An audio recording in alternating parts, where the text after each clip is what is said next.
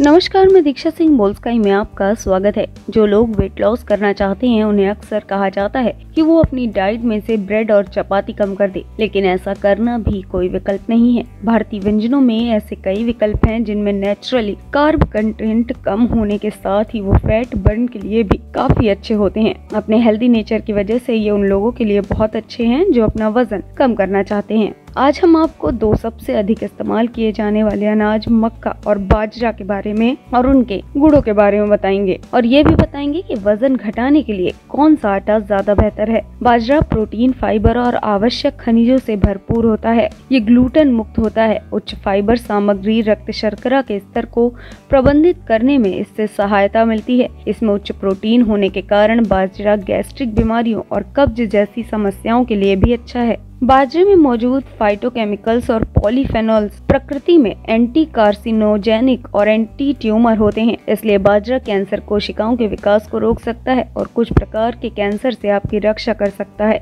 मक्का iron phosphorus zinc और विभिन्न विटामिनों से भरपूर होता है। एंटीऑक्सीडेंट से भरपूर मक्के का आटा आँखों की रोशनी के लिए अच्छा साबित होता है और एनीमिया की रोकथाम में भी मदद करता है। मक्के में भरपूर मात्रा में प्रतिरोधी स्टार्च होता है और यह वज़न को ठीक से प्रबंधित करने में मदद करता है। जो लोग तेज़ी से वज़न कम करना चाहते हैं और भारी मात्रा में वज़न कम करना चाहते हैं, उन्हें अपेक्षा अपेक्षाकृत कम कैलोरी सामग्री के कारण बाजरे के आटे का चयन करना चाहिए।